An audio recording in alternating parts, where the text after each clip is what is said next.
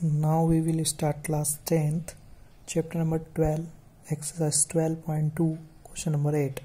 Question number eight is that कुछ इस type से है कि एक स्क्वायर फ़ील्ड है 15 मीटर साइड की वहाँ पर एक ओ पॉइंट पे एक हॉर्स जो कि टैब है बंधा हुआ है और उसकी रस्सी जो है रोप जो है उसकी जो लंबाई है वो फाइव मीटर है यानी कि वो फाइव मीटर के अंदर के एरिया को ग्रासिंग कर सकता है। तो यहाँ पर मैंने एक स्क्वायर फ़ील्ड बना दिया है। यहाँ पर ओ पे टैप बना दिया जहाँ पर वो बंधा हुआ है और वो यहाँ से सी पॉइंट तक ग्रासिंग कर सकता है इतने पार्ट में।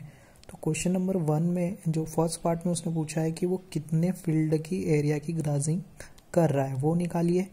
और सेकंड क्वेश्चन है, यदि रस्सी को हम बढ़ा दें फाइव से टेन मीटर तक कर दें तो बताइए कि दोनों के बीच में वो कितनी ग्राजिंग कर रहा है। यानी कि ये पॉइंट से नेक्स्ट पॉइंट तक कितनी ग्राजिंग हो रही है वो बताइए। तो यहाँ पर हमने देखा कि सेक्टर बन रहा है यहाँ पर, ठीक है? ये पूरा सर्कल है और ये सेक्टर बन रहा है। सेक्टर मतलब क्वाड्रेंट बन रहा है क्योंकि 90 डिग्री का एंगल है। स्क्वायर का जो एंगल होता है वो 90 डिग्री का होता है। तो हमने क्या देखा? फ़र्स्ट क्वेश्चन हमने किया so the area of field where horse can grass area of sector theta upon three sixty pi R square theta की वैल्यू हमने नाइन्टी पुट करी क्योंकि ये स्क्वायर फ़ील्ड है।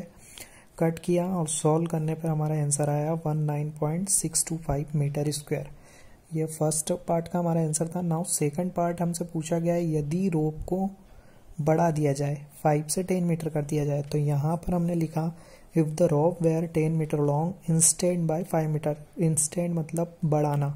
फाइव मीटर उसने बढ़ा दी तो कितनी हो गई? टेन अब एरिया हमने निकाला एरिया ऑफ़ सेक्टर ठीक? तो यहाँ पर एरिया ऑफ़ सेक्टर कितना हो गया? Theta upon three sixty pi R square वही क्वेश्चन फार्मूला लगाया।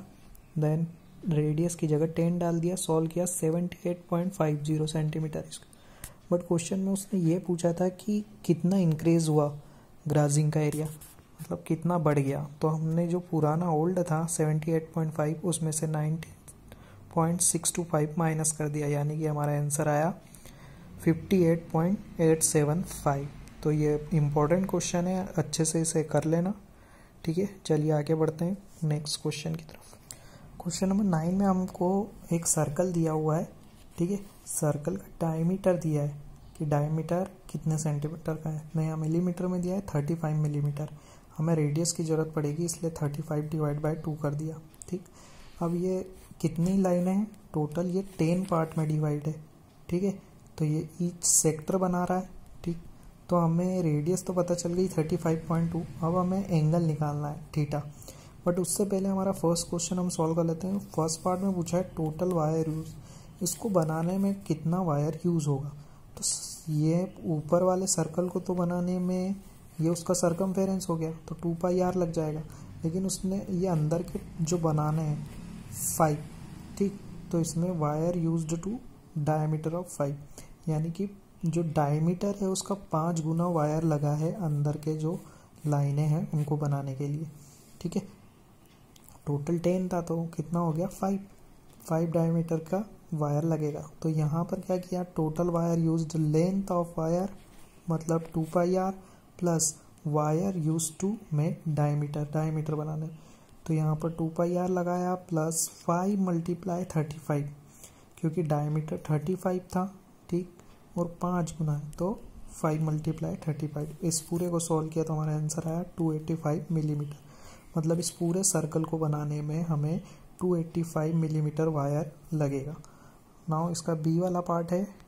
बी वाले पार्ट में पूछा है कि सेक्टर बताओ ईच पार्ट का। तो टोटल टेन सेक्टर है। तो सर्कल डिवाइड टेन सेक्टर में डिवाइड होगा तो एंगल सबसे पहले निकाल लेते हैं हम three sixty divide by ten तो थर्टी सिक्स डिग्री इसका एंगल निकला। रेडियस तो वही रहेगी तो हम वन का निकाल लेते हैं theta upon three sixty pi R square cut किया वन अपॉन टेन यहाँ पर टू से ट्वेंटी टू कट किया इलेवन और लास्ट में हमारा आंसर आया, अब इसको डिवाइड करके पॉइंट में भी आंसर लिख सकते हैं। तो यहाँ पर ईच सेक्टर का यहाँ पर एरिया आ जाएगा। ठीक? यदि वो टेन का पूछता तो हम टेन का मल्टीप्लाई कर देते। सो इजी क्वेश्चन था। यहाँ पर दो क्वेश्चन थोड़े लेंदी थे। एट और नाइन नेक्स्ट क्वेश्चन हम नेक्स्ट वीडियो में करेंगे। Thank you